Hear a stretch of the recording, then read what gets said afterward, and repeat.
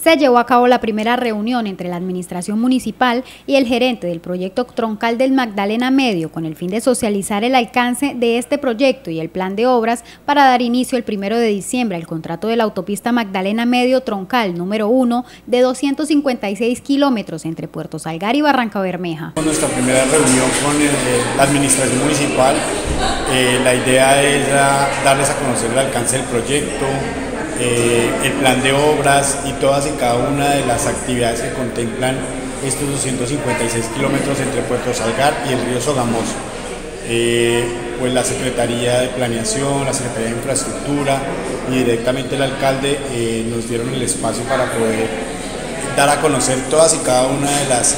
actividades que iniciaremos a partir del primero de diciembre y eh, sobre todo eh, establecer procesos de comunicación directa con la administración del municipio. Con esta obra se espera beneficiar a la región, además de la comunidad aledaña a esta vía, como generar empleos y oportunidades, optimizar la movilidad y mejoras en los tiempos de recorrido. Que lo primero es retomar un proyecto que eh, quedó inconcluso producto del tema de la terminación anticipada de la Ruta del Sol 2, pero principalmente los beneficios están asociados a la disminución de tiempos de recorrido,